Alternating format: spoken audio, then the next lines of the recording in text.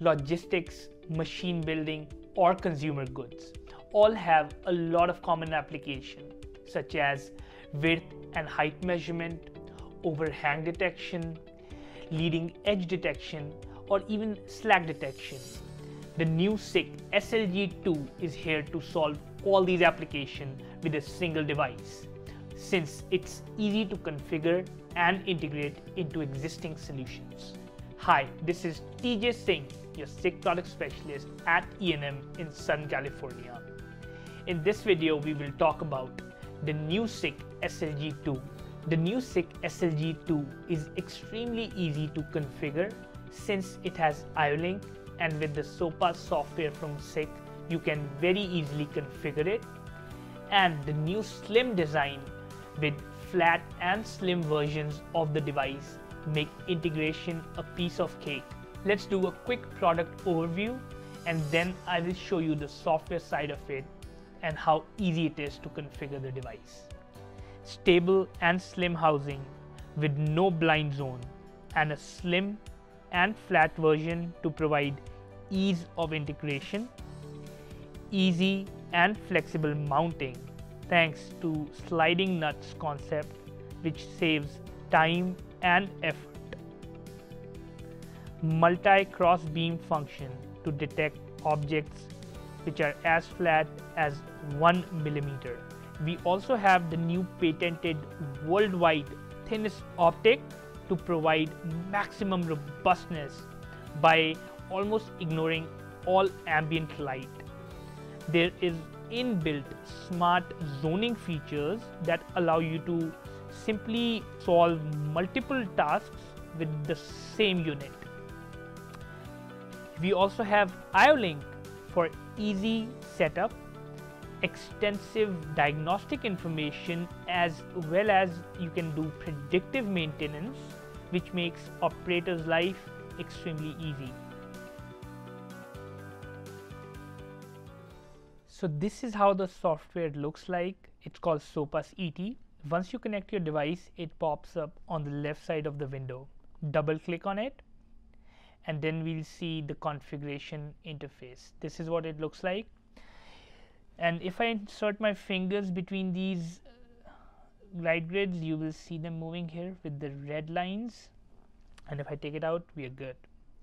So the very first thing under the home screen is all this information on the right side. This is displayed by IO-Link. You can get that information.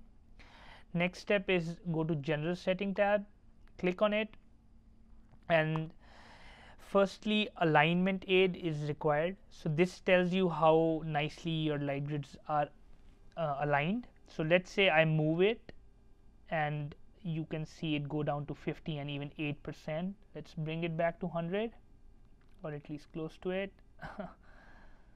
alright once you do that next step is teach in press on the teach in button and it now is taught. uh, beam blanking. So this feature is really cool if you have some kind of an object that will stay in the path of your light grids. You can simply block those beams so as to ignore them. Next thing is cross beam uh, cross beam simply allows you to make the device very much more sensitive. But in our case we don't need it right now. And always remember now you have teach in necessary. This is because if you turn on crossbeam you have to reteach it. Okay and the last thing is beam numeration. This means either you have mounted it upside down or you're going bottom to the top all right let's move to the next step which is zones. Now this is the coolest part about this light grid. You have four different zones and you can do a bunch of features with it. Let me turn on the view feature first for all of them so you can see what one two three four represent. Let's say I have four zone in this entire light beam and uh, I will go from 1 to 5 as my first zone. I will go from 6 to 10 as my next zone and from 11 to 15 as my third zone and 16 to 20 as my fourth zone. And it is represented by these lines here 1 2 3 4 and function simply defines either number of beams blocked last beam blocked or first beam blocked. So in my case I have number of beams blocked as long as it's greater than equal to 1 it should turn on an output. And the outputs are represented by the status here or on the left side you can see the q ints. So if I insert my finger on the bottom you will see the first one triggered. If I move upwards I trigger the second output and same thing third and the fourth one. And that's how simple it is and quite intuitive.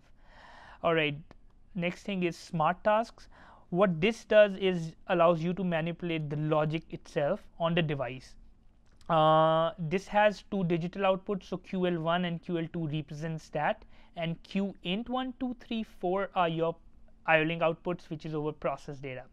So now uh, my um, pin 2 is a multifunctional pin. I can either have it as an input or I can also have it have it as a switching output. So let's deactivate it so I'll do QN2 which is obviously my zone 2 will be my second output and zone 1 QN1 is my first output.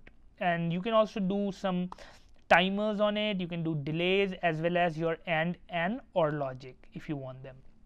Next step is your process data. This is where you get all the information from the light beams number of beams blocked status uh, system status another cool thing is you can define your own logic in user defined this is where you can have some bits representing whatever data you want. And lastly we have diagnostic uh, settings. This is more for predictive maintenance. You have monitoring on the right side. You can set threshold for your temperature quality of run alarms and all that. And it's so simple to configure this device thank you for watching the video. If you have any questions feel free to reach out to me at the email provided on the screen. Thank you